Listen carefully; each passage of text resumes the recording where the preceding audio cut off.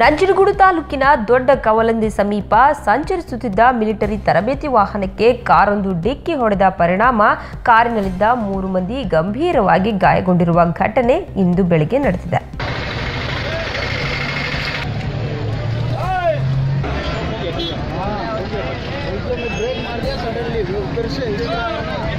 ನಂಜನಗೂಡಿನಲ್ಲಿರೋ military ತರಬೇತಿ ಕೇಂದ್ರದಿಂದ ಉಮ್ಮತ್ತೂರಿನ ಕ್ಯಾಂಪ್ಗೆ ಸೈನಿಕರನ್ನ ಕರೆದೊಯ್ಯುತ್ತಿದ್ದ ವೇಳೆ ದೊಡ್ಡ ಕವಲಂದೆ ಹೊರವಲಯದ ಕೆಆರ್ಪುರ ವೃತ್ತದ ಸಮೀಪ ತಮಿಳುನಾಡು ಮೂಲದ ಕಾರೊಂದು ವೇಗವಾಗಿ ಬಂದು ಮಿಲಿಟರಿ ವಾಹನದ ಹಿಂಬದಿಗೆ ಏಕಾಏಕಿ ಕುದ್ದಿದೆ.